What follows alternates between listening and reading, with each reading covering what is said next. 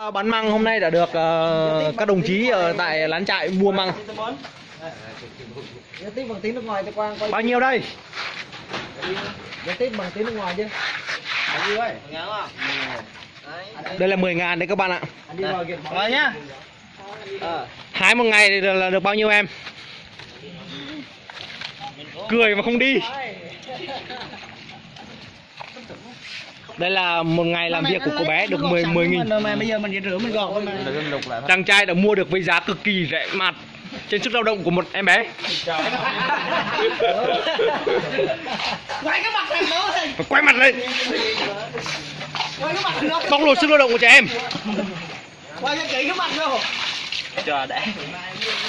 Đây là 10 nghìn đấy các bạn ạ. Đây, đây làm sẵn hết cho mình nó lột hết luôn rồi này. Đây là 10 nghìn đấy các bạn ạ. Mang này là hái ở trên rừng.